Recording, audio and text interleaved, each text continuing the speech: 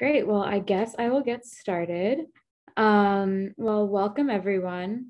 So, the Anatomy of a Zero Waste campaign digital series with four essential strategies for movement leaders is a continuation of the Zero Waste Master Plan, which is something we published last year um, it includes a menu of common sense zero, zero waste implementation op options um, that goes through the nuts and bolts of really building a zero waste campaign that is community led.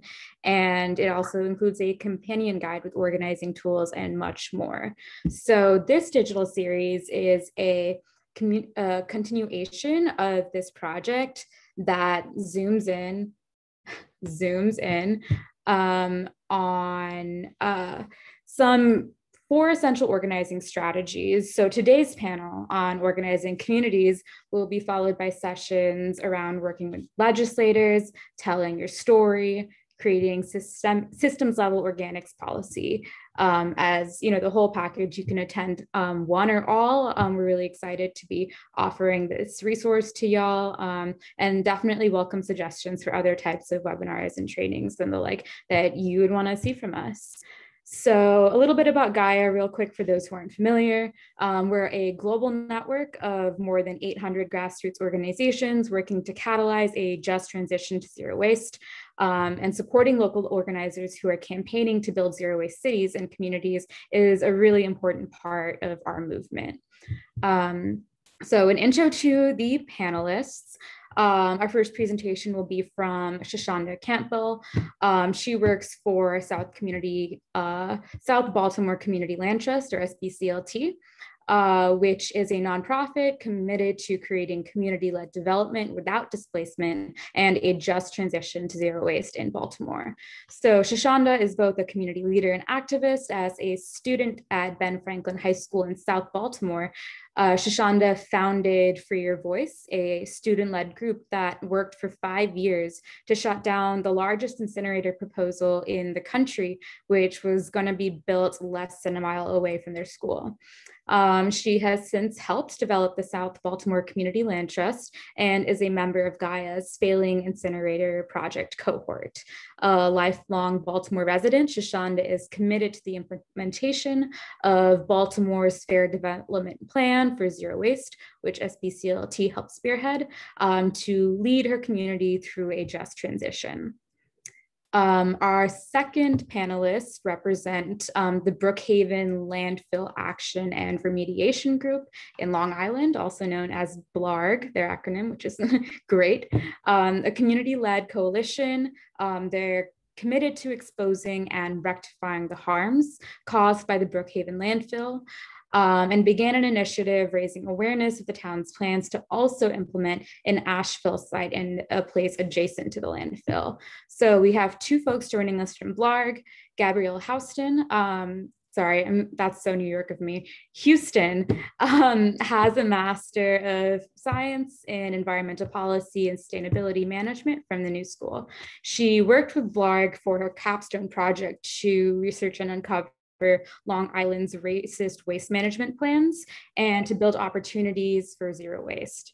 Gabrielle still works with Blarg and is helping Gaia develop toolkits that support grassroots and environmental justice groups. Um, we're also joined by Erin Zipman, who's also working with Blarg. She's a sophomore at Binghamton University, majoring in environmental public policy, who's been working and uh, learning in environmental justice in the environmental justice sphere for a couple years now. She's involved with several environmental and social justice groups. Um, so yeah, it's really exciting to have um, such a range of voices and cities um, on this panel. Um, we are super excited to share um, to share this stuff with you. And there'll be time for uh, some Q&A after each panelist presentations, um, but we should also have a couple of minutes um, of questions at the very end that you can ask both panelists. So keep those questions in mind. Um, you can use the Q&A box, but it's also fine if you put it in the chat. Cool. Um, Shashawnda, are you ready?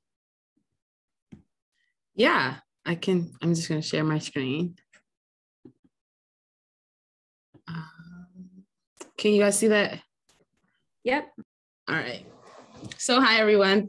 Um, and thank you for inviting me to this. Um, I am with the South Baltimore Community Land Trust. I got involved in this type of work when I was in high school, as you heard, helping to fund a group called Free Your Voice.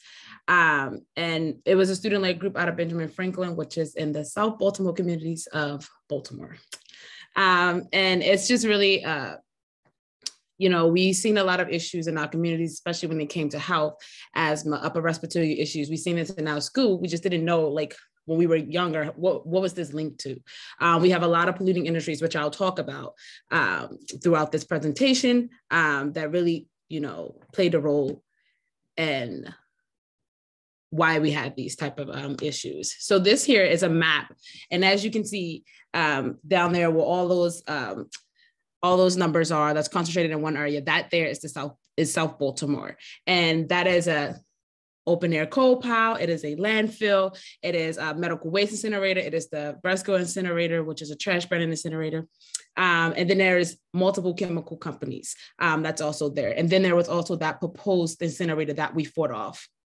Um, and so, as you can see, it's a lot of cluster of stuff that's literally in the com- in this community, and it's a community of color and low income, um, and we've seen it. We've seen the impacts of it every day. We've seen it in the kids that went to my school. We still see it in the kids that go to like the school I graduated from. Um, and you know, when we did Form for Your Voice, it was a way to take back the community's voice to say, like, we have a right to say no to these um, institutions, these um, industries coming to our communities and polluting it. Like, we can say no. So that was the, you know, we really stood up, and it was the first time that we actually won. And so you know, it was a big thing, and people started to feel like, oh my God, like we can win, we can get these things out of our community because a lot of people that lived there for a long time, when we first started, they said there is no way this stuff is going to go. Like it's always been this way, and it's not going to change. And then like that did change, and so it was a lot of momentum that was grown through that um, fight with that first incinerator that led to like continuing to the incinerator that we do have already built. And so this here is the Bresco incinerator. As you can see, it costs $55 million a year in health damages to residents. And that was a statistic that was founded by um, the Chesapeake Bay Foundation here and it was just trying to put a number to the amount of pollution. And that's only one particle. It's not literally all of the particles that's being released from that incinerator. And so it was really the first time that we had a number that we can literally go to community and say this is the number. This is what it means. And that you know when talking with residents they felt that number because it was in their daily lives that they was dealing with hospitalizations for asthma upper respiratory issues and seeing it in their kids. Um, and so we was very reactive a lot to these systems that was around us. And we wanted to ask the community come together since we were already in space talking about these bad things. We want to say, what do we want to see in our community? What is it that we want our community to look like? Um, how can we like, you know, funnel this waste to be like a benefit in our community rather than polluting the community.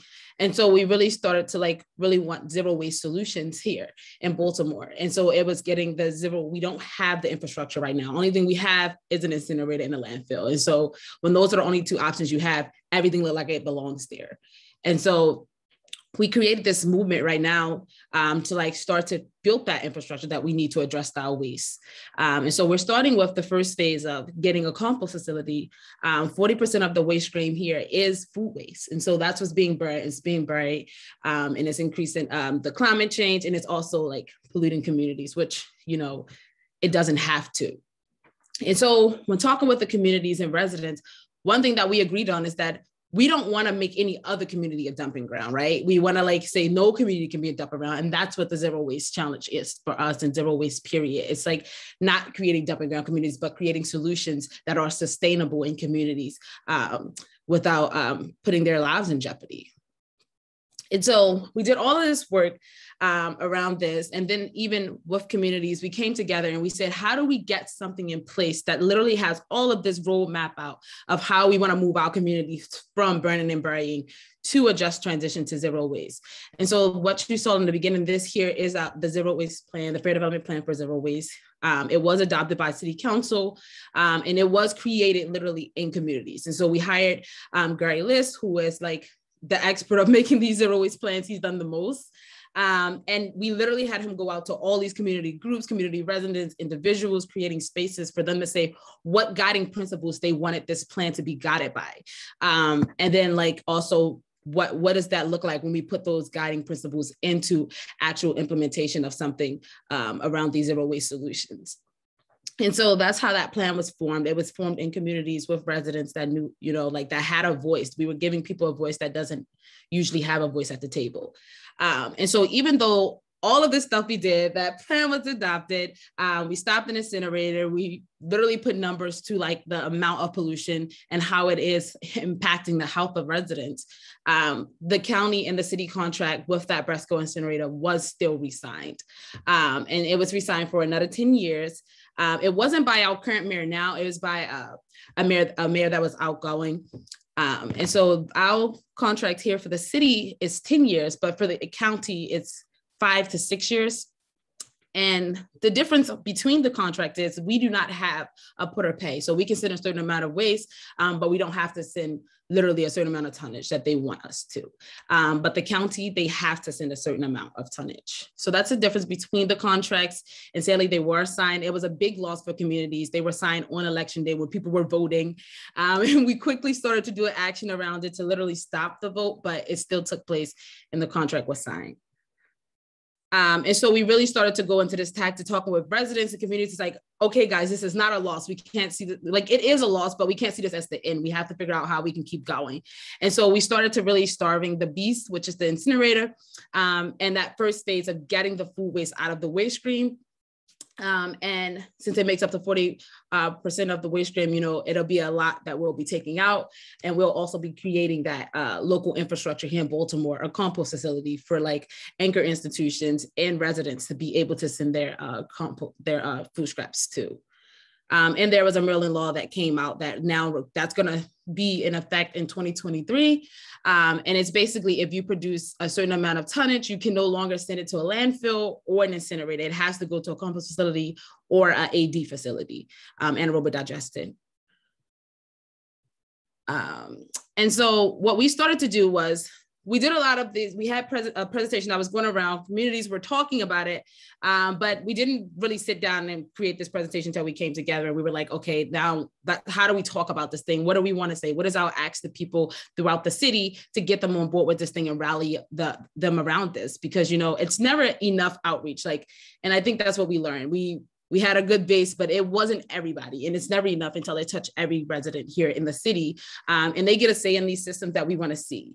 Um, and so we're always trying to build the base and get more people involved in this movement and get their uh, opinions of what this movement means to them. Um, and so we started this trainer trainer session, which was we took people that cared about this issue um, and we put us all in a room. Um, some people knew from the start to finish. They've been in this for 10 years. Some barely knew anything. They were just coming in and say, Hey, I want to help because this is an important issue. Um, and so we had five sessions that people went through to literally be able to give this presentation of like the start of this movement, the current in this movement, and what the visions for the future are from the communities. Um, and it was really good in the fact that it got more people out there to talk about this thing and it made them feel comfortable talking about it um, more um, and so the first session was just introductory, figure out who was in the room. Um, it was getting goals and outcome that we wanted from this outreach. Um, we were we were having monthly meetings, so it was like this big zero waste meeting that we were having, uh, where all of the communities, different groups that's here in Baltimore that's working on this issue would come together, um, and we would host it. And residents would talk about, okay, what are our next step? Who's the outreach? Who's going to do actions? What what are we doing? Um, and so we wanted to get more people involved in that. So we started doing uh, those presentations to associations um, that were around the communities. Um, and also just like organizations and student groups that wanted to be more involved with this movement. Um, and then we trained them on this presentation that was created in that zero waste meeting. Um, I can show you just a little bit. Um, it just talks a lot about like this movement around um, the incinerator, how we want to move from extraction to really moving to zero waste, which is more respectable to our lives. Um, and we wanted to encourage them to make this their presentation. So it's like yeah we we did create this presentation with main points around like sign-ons what we leave at like what we leave with these organizations like fact sheets. But we really wanted to make this presentation more like people like they can talk about it in their own way. Um, so we did um, the presentation first and we were like hey does it sound right? What's missing? Ask questions and you know like encouraging them to take notes on those slides. And then they did the presentation themselves so we broke them up into pairs and then they were able to try these presentations on their own to see like okay am i getting the main points? Or am i connecting with people in the way that i think i am? Um, and then we came back to the bigger groups to just say okay what's working well with these this powerpoint what's still challenging how can we make it better um, to just like um, you know, we're always trying to make it better. It's a forever changing PowerPoint because there's always something new happening in these movements. Um, and then the fifth session was really um, the fourth section was creating the materials. So we had some materials already that we were already using, but we wanted to create more like the sign-on sheet we created, and then we created a, a sign-on that was to get food out of the waste stream, which we distributed to the groups that we were meeting with um, that wanted to like sign on to talk about why it is important, um, calling on the mayor and anchor institutions to literally stop burning and burying their food waste. Um, and so the, we had a lot of just like sheets that we use, like sign-in sheets, which is here. So that's available for anyone if you want to use it. Um, and then we also, to make sure everyone were good and we felt comfortable, we did a popcorn of the like slides. So I might have did the first one, someone did the second one, and then we just did that in front of the larger group to make sure everyone was good. And then we got out there. So the fifth section was we went and we made our example emails. Um, we started making calls. We started connecting with groups on the ground to say, hey, can we give you this presentation um, to talk more about this issue? A lot of groups knew about it, but they weren't like directly involved. So they heard about it through some other birdie and they were like oh i heard about it i just didn't know how i can get more involved or like um, how it relates to some of the stuff we're doing um, and how we can link them to make it uh, more effective and we really wanted to, oh, this is an example email for one of our youth leaders um, that's available too. It's just talking about like that, the presentation that we wanted to give people. We had a 30 minute presentation, but it can be cut into like a pitch um, for organizations and associations that couldn't, you know, they didn't have 30 minutes to spare with us right away. Um, and it was really also we did all of these things to get the commitment from the people that wanted to be involved in this movement more we wanted them to come to the zero waste meeting to like say what what what they wanted from this movement also and how it deeply affect them to be able to tell their stories. Um, and we wanted to get the mayor to commit to like why it is important to start with getting food out of the waste stream and just like literally not relying on the incinerator period. Um, and so that's a video that the mayor did create um, mayor uh, Scott here, he created this video that talks a lot about food waste um, contributing to um, climate change and like uh, pollution and why we shouldn't be doing it. We need to move away from that as a city. Um, and then we also got anchor institutions like universities and school systems to literally be able to say like, oh, I am doing this thing. All of my wastes are going to this incinerator and it's polluting communities of color and low income, and we shouldn't be doing that. And so we organize students on campuses to be able to give this presentation also um, and talk with other students, and then also talk with their universities about getting them to like um, help us um, have leverage to be able to get this compost facility here, working with the city. Um, and so that's, I think, where I'll stop.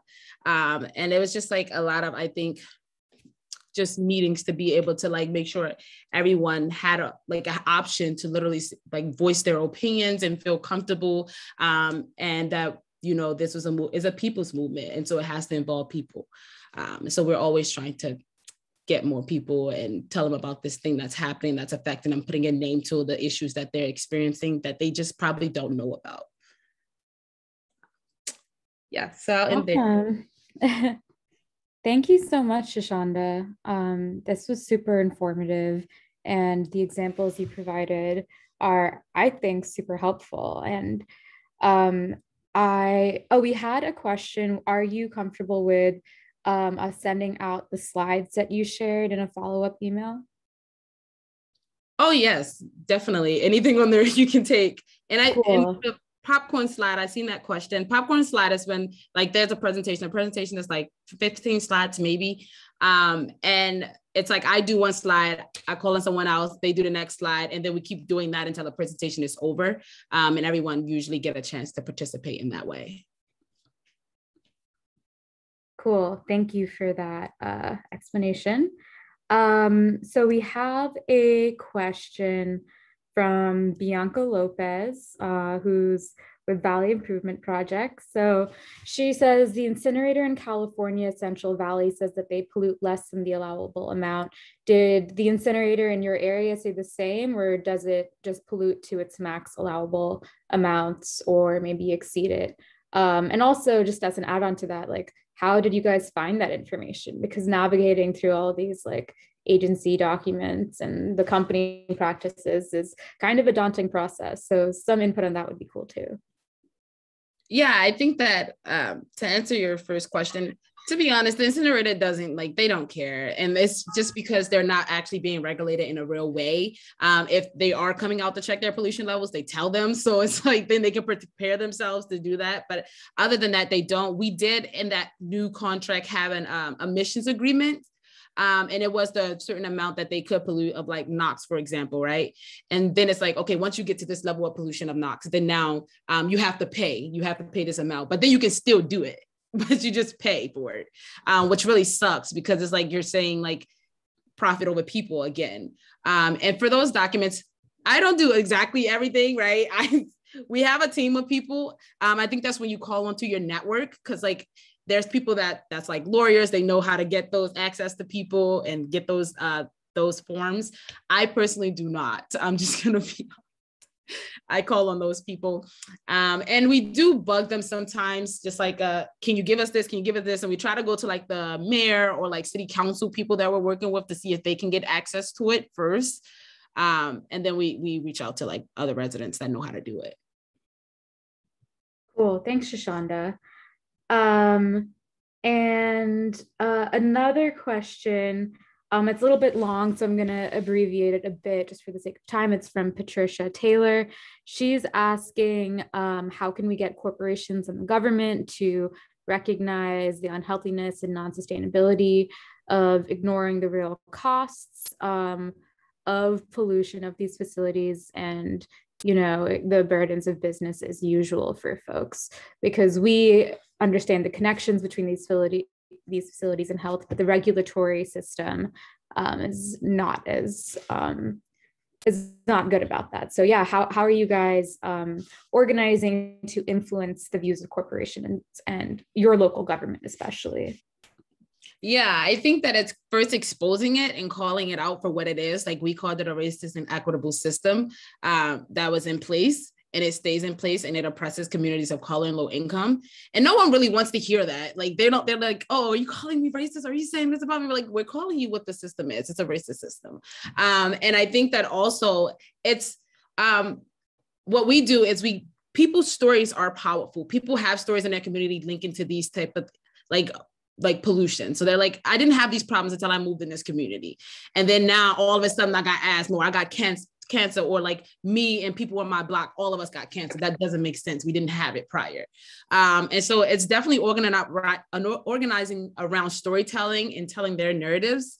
And then also it's to literally disrupt the system. It's trying it's disrupting that uh, business as usual mindset because it's disrupting people's lives all the time. Like it's literally causing health damages to people and they have to learn to live with it. So i think definitely um, disrupting that and putting a face to what's happening. So like if, if you want to call out those big corporations that you see like doing those like waste audits, I know like some like one of the universities that I work with here today are actually Towson, they're doing a waste audit today.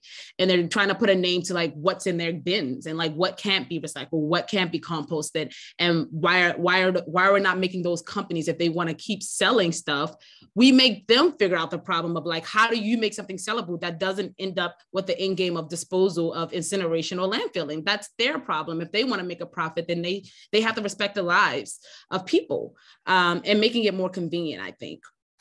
That's so true. Um, and we have one t- time for one last question. I think an interesting one from Yayoi Koizumi. I'm sorry if I mispronounced your name. Right.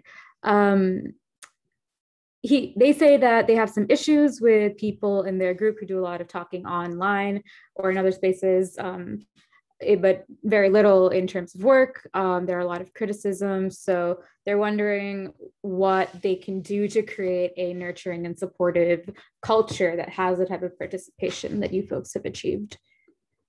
You I have think about two minutes. Yeah, I think it's just challenging people first. So like it's okay, like you don't have to like I think in this movement, it is a people's movement, and we tend to be like like supportive and like very caring and like we empathize with them around like what they're feeling but i think also just challenging people and then making those meetings with the in sessions or whatever that is to do something in the meeting and i think that that gets them to like every every end of your meeting whatever that may be you have to do this you have to either send out this sign on you have to like uh you have to do like some presentation as the end game of these sessions, blah, blah, blah, blah, but making some type of acts of people there in a session um, and making them feel valued and like supported in that. Awesome. Thank you, Shashawnda. Um, and I, again, thank you for that question. I think that's a really important one that a lot of organizers are facing. Um, cool. So now we'll be moving on to um, the folks from Blarg. Um, if you could pull up your presentation and share your screen, that would be great. Thank you so much, Shashawnda. Um, and we'll have some time for more questions directed at both Shashawnda and Gabrielle and Erin um, at the end of uh, the webinar. And like Shashawnda mentioned, we'll be sending out a link to those uh, slides and other materials referenced in this session. Um, and just as a reminder, this is part of a series. So real quick, I'm just gonna drop the registration link for the full um, event series in the chat. Um, and yeah, take it away, Gabrielle and Erin. Thank you so much, Adi, and thank you so much, Shashawnda, for your great presentation. So hi, everyone. My name is Gabrielle Houston. Um, I'm representing Blarg today.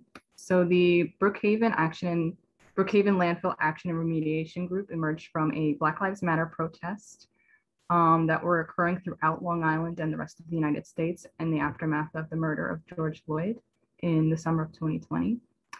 And group activists from all over the town of Brookhaven identified the Brookhaven landfill as an issue of systemic racism and a blight on the health of the future of the local community. Folks from Blarg were initially seeking to have more community involvement in the promised 2024 closure of the landfill. This group, however, soon discovered that the town did not have a plan to close the landfill, but rather to expand it. Blarg's Closed Means Closed campaign has grown into a regional movement advocating for the closure and remediation of the Brookhaven landfill and calls for reasonable accountability and partnership in supporting a just transition away from incineration, landfilling, and towards a zero waste um, infrastructure that does not perpetuate environmental racism and threaten our natural environment.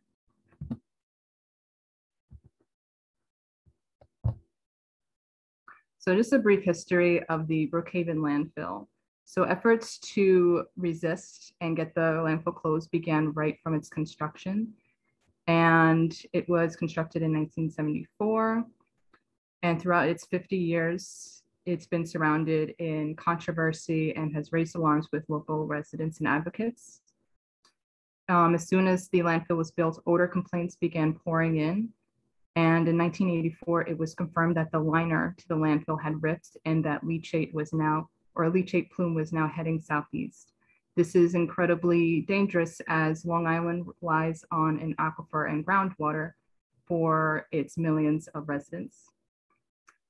So Long Island actually has a land, landfill law from the NYDC, which restricts landfilling on Long Island for this very reason. Um, aftermath of this is that Covanta Energy or waste energy treatment plants set up four facilities in the town of Hempstead and also set up facilities in the town of Islip, the town of Babylon, and the town of Huntington. In 1990, the Brookhaven landfill no longer accepted municipal solid waste but still accepted ash from Covanta facilities and construction demolition debris. And in the aftermath of this, the landfill is still in operation and there have been plans and uh, and um, expansion proposals for the landfill since. So a brief um, rundown of what's going on at the landfill. Annually, it receives around 350 tons of ash and 700 tons, 700,000 tons of commercial construction and demolition debris. So the waste residue from the town of Brookhaven, town of Hempstead, the town of Huntington, the town of Smithtown, and the town of Islip, which is about 2 million people on Long Island, eventually has its ash residue landfilled in the Brookhaven landfill. And this continues because currently the landfill generates approximately $66 million in gross revenue and 30 to $35 million in net revenue for the town of Brookhaven. And again, the ash received at the landfill comes from Covanta Huntington, Covanta MacArthur, and Covanta Hempstead. I'm gonna pass this off to Erin. So yeah, hello, I'm Erin. Um, and so uh, like like Gabrielle had said, uh, BLARG, the Brookhaven Landfill Action Remediation Group, was born out of the Black Lives Matter movement, and we we do want to highlight the fact that this is not just a trash issue; it is an environmental justice issue. Um, so you can see in these maps that we have on the screen um, that the on the left we have uh, the red dot where Covanta, the Covanta incinerator is located. And then on the right, we have where the landfill is located. Both of those are right next to uh, what you see in purple is potential environmental justice areas um, where we have a higher concentration of low income communities and communities of color. And the next slide. Uh, and so we can see the effects of these very clearly in comparison to the rest of Long Island. Uh, we have the lowest life expectancy on Long Island in and around the area next to the landfill.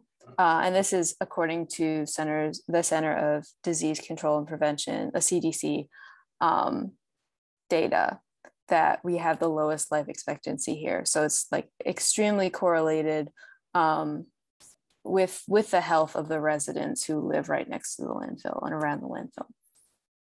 And the next slide. Um, so then here we also can see again uh, that the communities right next to the landfill are the most diverse, ethnically, racially uh, co diverse communities um, on Long Island. We also have um, we uh, we also have the the, these lands that are from, we have uh, lands and um, Shinnecock Native Americans who live in these areas, uh, who still live in these areas and are feeling the effects of the landfill most closely. And it's, it's very clear that there's a reason why the landfill is located in this area. And um, and that race plays very much race and racism plays very much into where the landfill has been sited and why we've had so much trouble um, trying to deal with the effects of the landfill.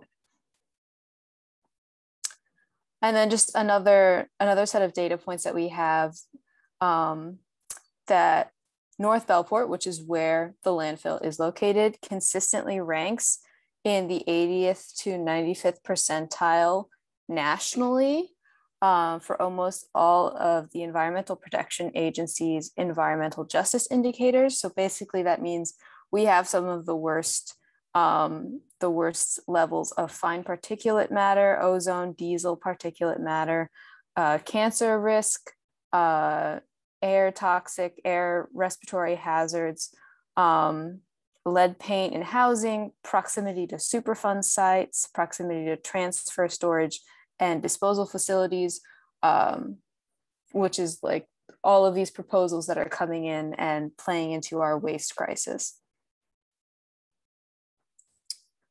So uh, from that all that data, we can see that uh, we have a very diverse community and that we have an extreme waste crisis, but that also cannot detract from the fact that people are still living there. Like they're also living through, it's not just data points, people are living through this.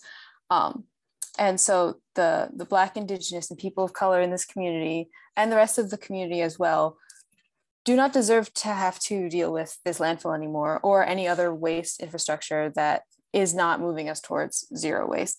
Um, and so we want close means close. We want the landfill to be closed.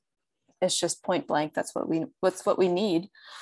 Um, and we are demanding that the town acknowledge that this has been a burden on the community for 50 years and that they honor their promises to close the landfill. They have not really given us any sort of reassurance that that will happen when it's supposed to. Um, that they will reject the expansion plan for the landfill and like the ashfill for the collection of the ash um, and pursue a plan that is really driven in the fact that we need to get down to zero waste and we need to remediate the area that the landfill has polluted and we need reparations for the community that has dealt with this for so long. So then what does BLARG do? Um, so BLARG has engaged in many protests, uh, like direct action. We've also been very active on social media. We've had digital bird doggings, which is basically like some of our members will go harass officials and be like, hey, I saw you're like doing this. Why don't you pay attention to this also very large issue? Because um, we also deal with a problem where officials just don't want to talk to us, they'll ignore us. Um, so we we had like a counter, like a count up, like we were trying to get our um, town supervisor Ed Romaine to come meet with us for a very long time. And um, we've we've been looking for him. We have a little, where is Ed Romaine? We don't know. Um, we've hosted action hours to send out emails and calls to our representatives. Um, we've mobilized community members to go to town halls. We had um, a rezoning town hall in the summer that the community was given about three days notice for. Um, and there were no like notices that actually went out to the people who live next to this parcel of land that was being rezoned that could potentially affect like the future of the landfill um, so we actually had members go and knock on people's doors and say hey this is happening um, you we need to show up and do something about it because the town is not going to let us know. They're just going to do it without us. Um, so we have been mobilizing in that way. We've had sign-on letters and petitions. We've uh, done several news uh, news interviews and articles. Uh, we've had articles in the paper, um, radio interviews. We've uh, have made our own lawn signs, which the um, the town of Brookhaven tried to co-op and um, steal from us, but that's just silly. And um, so we, we've we've had lawn signs in both English and Spanish. We have posters in English and Spanish. We've had a postcard campaign with English and Spanish um, to go out to inform the residents of what's going on. Um, and we've connected with organizations uh, like this one to, to really bring our message across to many different platforms and also just connect with others and offer our support to other organizations. Thank you, Erin. So I'm just going to get into a bit of the programs that BLARG has been involved in. Um, this past summer, starting on June 4th, we started our composting program and it ended on September 4th. And we were successfully able to divert about 1,200 pounds of organic waste from incineration and subsequently the Brookhaven landfill. Um, we are currently in our visual waste audit initiative, and this involves us doing a residential waste audit so that we can learn more about waste generation um, in the town of Brookhaven, um, disposal methods and how we can work towards zero waste and other waste diversion methods. And yeah, just guide the town to more zero waste solutions. We get said to, we get told so much that we um, want the landfill closed. We don't want any more ash, but we don't come up with any solutions to do that. Well, we're doing that now. And we have amazing outreach. So BLARG is constantly with other groups on Long Island in New York City and in different states because Long Island's waste crisis isn't just a Long Island waste crisis. Any waste that isn't brought to any of the four incinerators is sent to nearly two dozen landfills in four different states.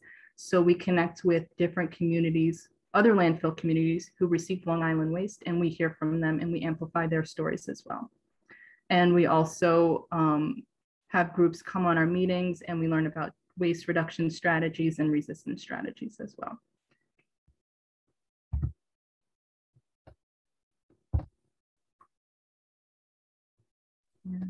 And uh, so the way we run our meetings, we have weekly meetings on a Friday, and we start with just a re reiteration of what our values are and grounding ourselves in the fact that Black Lives Matter, um, in the fact that we are sitting on Native land, um, on Unkechaug land, and that we need to be respectful of the land and the people who live on it. Um, we rotate the jobs of host, facilitator, note taker, and we organize ourselves. So like if someone wants to say something, they, they type stack in the chat and we like go through. So it's make sure everyone can have a say in what's going on. Um, we've had a lot of meetings with a lot of very important guests.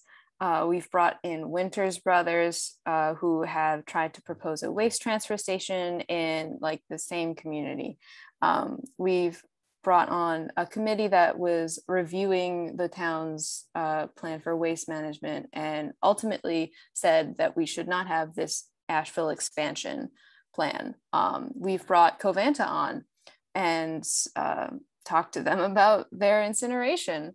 We've had the DEC on more than once. Uh, we've had present presenters from Fostoria, Ohio. Like Gabrielle mentioned, we are connecting with people where our trash ends up going if it's not on Long Island. Um, we've had uh, assembly members and legislators, and of course, we have other organizations as well. So just to highlight some of the challenges that we face as a group is um, a lack of engagement and transparency from the town of Brookhaven and council members. Um, as Erin mentioned before, we um, have yet to see uh, Brookhaven's town supervisor, Ed Romaine, at any of our meetings. Um, been to events where he was at and he basically just turns his back right to, to us and leaves. Um, we have difficulty um, getting documentation um, like foils and um, just any information on the landfill. Uh, what are the emissions? How much money is going into it? How much money does the town make? Um, why hasn't um, the leachate been investigated? These are all things that we have to foil for, we have to hound the town for because apparently nobody knows. And we have to do all of these things ourselves. Um, it's difficult when we have public hearings that don't have any information about what's going on. As Erin mentioned before, the last uh, public, the last town hall, there was three days notice of what was going on and we had to activate very quickly and engage the community to resist and to confront the town of Brookhaven about rezoning. And that we're, the public is constantly asked to comment on things that we're not told about um, just like the Medford transfer station, landfill rezoning, and um, sale. And also we face community fatigue, um, as is the case with like a lot of frontline groups. So we um, mitigate that by having um, the last Friday for each month off. Um, we usually have weekly BLARG meetings. So we give folks a chance to rest and we offer, offer many ways for folks to be involved. for example, if they can't be involved in a waste audit, well, there's plenty of opportunities to be involved in social media, um, letter writing, and in outreach. And that brings us to the end. Closed means closed. And um, please connect with us on Facebook and Instagram and spread the word in your communities and networks. Thank you. Awesome. Thank you so much um, that was really informative and it was great getting to hear like all of these different tools and strategies you're using um, to mobilize your community and get decision makers to the table. Um, oops sorry I just realized i wasn't on camera. Um, so i'm not seeing very many questions specific to um, BLARG in particular, though there's a lot of great questions in there. So I think we can just ask them of all the panelists, um, just so we can get um, everyone's perspectives. Are y'all cool with that? Awesome.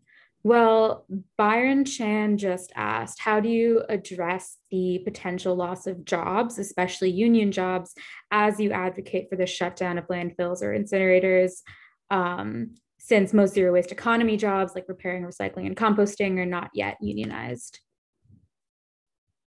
Yeah, thanks for asking this. And um, I think there is a love hate relationship with that question. Um, perhaps folks from BLARG can speak more, more eloquently on this. Um, but to, as I understand it, um, in regard to the landfill, when it comes to the communities, many community members didn't have a choice about their job placement and working at the landfill. I know there's someone on the call here today who worked at the Brookhaven landfill and can no, now no longer work. And what that says to us is that these companies, these waste management jobs don't care about their employees. They don't care about safety. And there was a whistleblower um, report just recently that came out that was settled by the town of Brookhaven because they didn't want to do discovery. So the difference with that is that when you have zero waste solution jobs, they're safe. They're not going to cause you cancer. They're not going to be dangerous for you. And they're within the community and they have the community in mind and they have community engagement. And we would want to have jobs for any workers who want to get out of, or if we succeed in closing the Brookhaven landfill, we would want to have zero waste jobs available to them. We would want to have right to repair shops. We would want to have more recycling. We would want to have things like that. So we just need to work on that.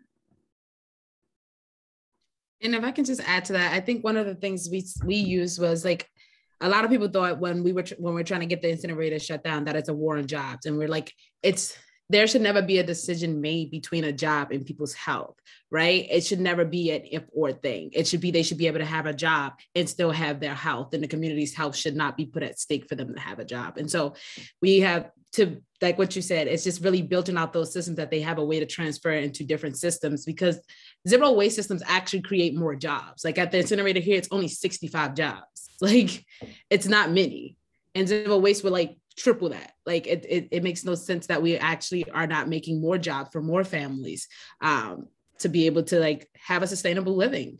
Uh, and so I think that it's in any like honestly anything can be unionized. I really think it's about like once those people get in those fields, if you want to create those unions, do it. I think that some of what we are putting forward with creating the compost facility is that we want them to be union jobs. So that's something that we want to be right written into the contract um, that we are contracted with these operators and local.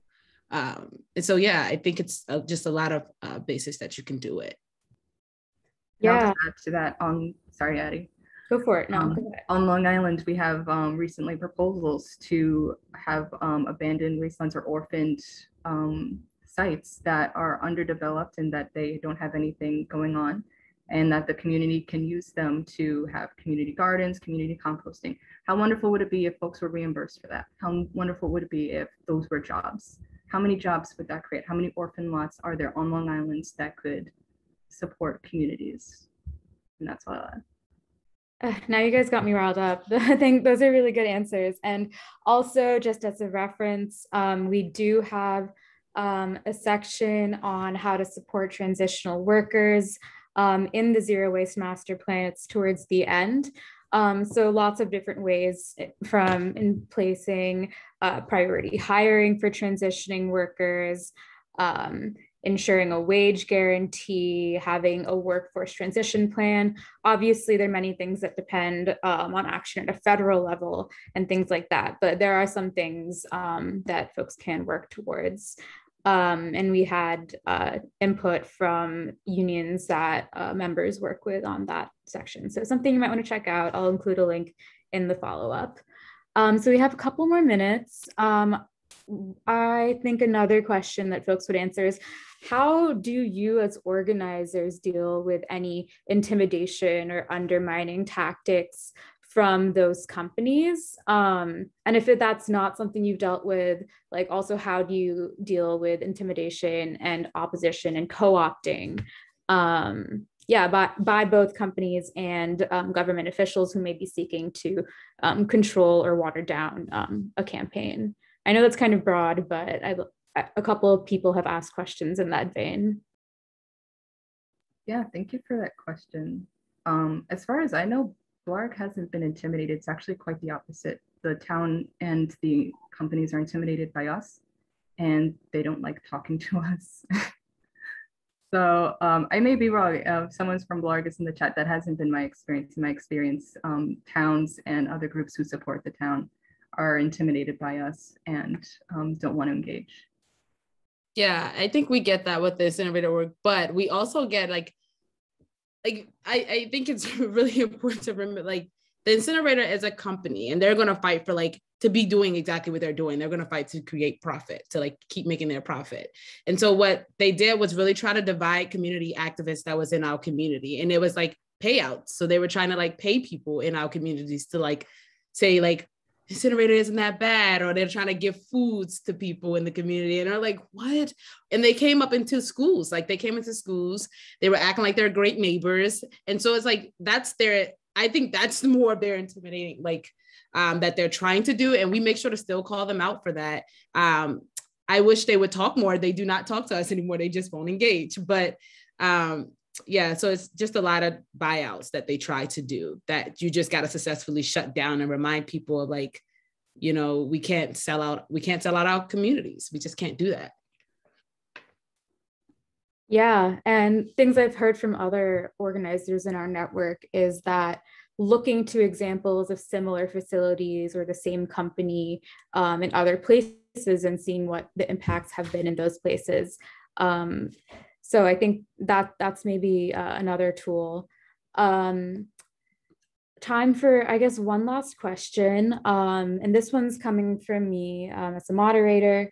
Um, although, uh, you know, we, we can still have open channels for communication beyond this. Uh, so lastly, how can environmental and other organizations that might have more access to resources that support environmental justice and other grassroots groups um, campaigning for zero waste communities?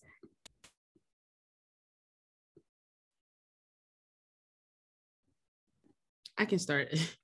um, I think is exactly what like what Gaia does, like with the cohort, with the failed incinerated cohort. It's put us in contact with other people that's doing the same fight, like that's literally doing the same thing that we're doing that we can learn from. Um, it's more than just like, you know, than the funding or money. It's like giving like experiences and tactics and things like that that's happening in other communities to be able to try in your own communities um, and being able to have a space to share that and talk about sometimes that it gets hard um, and we need a space as organizers to come together to be able to say, okay, let's reevaluate this. what did you guys do? Can we see your fact sheet? What does it look like? Um, you know, and so I think like just having that space to actually have conversations with other groups that you're like that's involved is also good. Yeah, I agree with that. Um, just knowing that um, as Blarg, we're not alone um, there are a lot of groups out there who are fighting for the same thing for waste reduction, for zero waste. And we can connect with so many, um, we have the luxury of it in New York um, to be connected with so many groups and like BK Rot, um, who does amazing work in Brooklyn and also connecting with um, other landfill groups and see how they're doing what they're doing to um, resist their situation, their landfilling situation, and also learning from the mistakes of other folks who have had their fights. Yeah, and I would also just add, um, I think it kind of harps back to the previous question as well, like always um, reaching back to the community um, and making sure that we're supporting the voices that are in the community. And just be just because like we're working on a landfill doesn't mean like we can also work on like housing and, and support other initiatives that are just like very uh, closely paralleled with um, with this issue.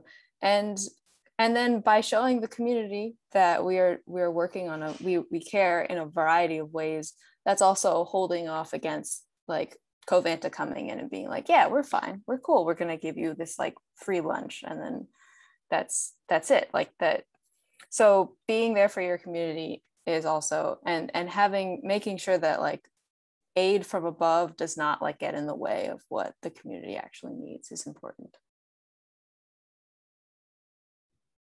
Great. Well, thank you so much, everyone. These things that you mentioned around, uh, you know, movement building and ensuring that, um, you know, people are also, you know, being consulted in these processes, uh, making sure that there is knowledge knowledge exchange and a flow of resources that's also important and i'm so excited that we all um, you know seem to be moving towards um, trans local work, so hyper local organizing, but we're connecting to folks in other places. And that's really what this whole, um, our network and also this uh, digital event series is all about.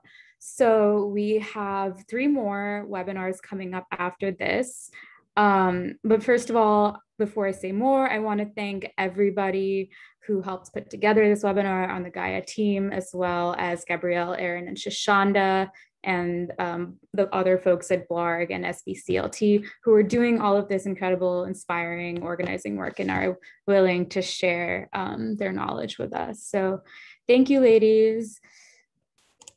Um, also, I'd like to note that all, I believe um, we have a full lineup of women and non-binary speakers on this um, series, which is really exciting to me personally as a woman of color. Um, so the next session that we are hosting is going to be um, in a about a little over a week. Um, it will be on working with legislators. After that, we have a really exciting session on uh, how to tell your story, both converting your campaign into a compelling narrative, but also tailoring it and developing skills to engage media. And then lastly, a session on creating systems level organics policy. Um, and I did see some questions about anaerobic digestion in the chat. So that will be, you know, a place where we talk about that whole realm of organics management work, including AD. And um, just a heads up for everyone here, we're also launching a composting working group for Gaia members and folks who might be interested in becoming members, where we can also take a deeper dive into those kinds of things. So to stay tuned. Um, I'll be sending out a follow-up email, so be sure to check that out. It'll have all these links, parts of the chat, um, and ways to continue being involved. So thank you for joining everyone. I will drop the registration link in the chat one more time before um, people head off. But yeah, thank you and enjoy the rest of your afternoons. Thank you for hosting. Yeah, thank you. Thanks, Adi.